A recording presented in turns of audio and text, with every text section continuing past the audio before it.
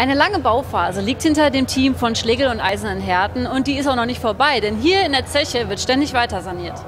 Heute zur Extraschicht können Besucher erstmals hier in den Innenraum der Zeche gehen und draußen gibt es Konzerte und Lesungen und die ganzen Einnahmen, die heute so reinkommen bei dieser Veranstaltung, fließen auch wieder in die Sanierung der Zeche.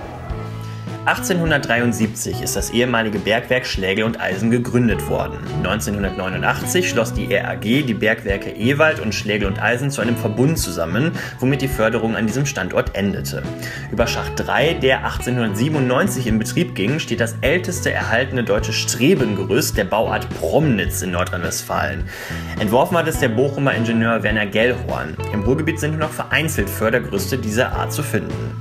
Heute stehen Fördergerüst und Maschinenhalle in der Obhut der Stiftung für Industrie, Denkmalpflege und Geschichtskultur. Der Club Schlegel und Eisen setzt sich für die Erhaltung und Pflege des historischen Bauwerks ein. Ein weiterer Teil der Gebäude wird von der Werksdirektion Technische Dienste der RAG genutzt.